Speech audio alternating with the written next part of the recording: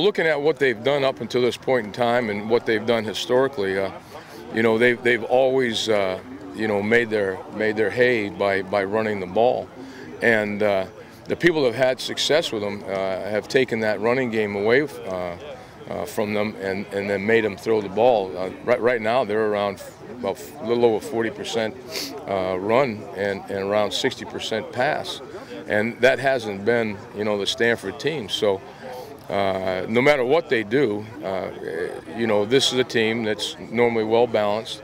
We have to we have to be able to stop the run because that's been their bread and butter over time, uh, and uh, that's something that we always set out, you know, to do. Uh, as we just pointed out a little bit ago, we we failed to do that last week, and, and unfortunately, it was three plays in the game. And I just said that to the defense just now at the end of practice. You know, they they practiced their their guts out all, all week. They, they played a hell of a game. There were so many, uh, you know, good plays, uh, and and we give up, uh, you know, three critical plays right at the wrong time, uh, and uh, and and we, we can't let that happen again. Whether it's in the run game or the pass game, but uh, you know, we we want to get the ball back in the hands of Hogan. We want to play good coverage uh, put pressure on him if he tries to escape the pocket, uh, you know, tackle him, all that stuff. And, and the bottom line is uh, we've got to minimize uh, the, the points that are put up on the board. Coach, what challenge does Ty Montgomery present?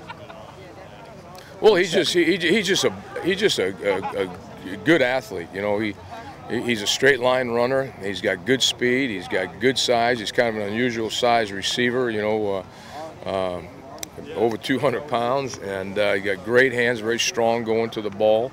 Uh, they've put him in the backfield. They've let him run out of the backfield. They put him on the perimeter. Uh, you know, run reverses to him.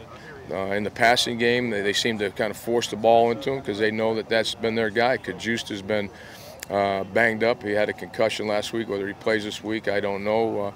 Uh, uh, they've gone after the uh, tight ends a little bit more, but uh, you know you always have to know where number seven is. There's, there's absolutely no doubt about that.